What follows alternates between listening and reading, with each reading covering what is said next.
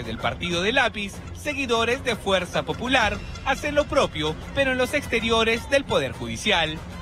Venimos por la democracia, porque respeten nuestros votos. ¿Dónde está pernoctando? Ahí está mi carta. A ver, ¿podemos mostrarnos?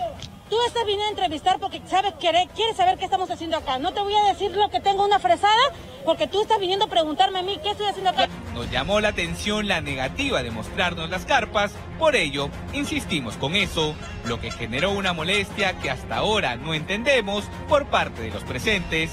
¿Podría mostrarme la carpa para verla bien? Señora Mónica, ¿me podría mostrar la carpa para verla bien? A ver. Para verla bien, para que el televidente pueda... Ver si lo podría abrir.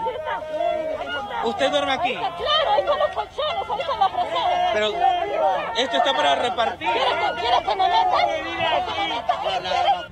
Al igual que Perú Libre aseguraron que la comida, las carpas, colchones y demás son donaciones de ciudadanos de a pie. No obstante, pudimos notar que recién cuando vieron las cámaras comenzaron a colocar los colchones en algunas carpas.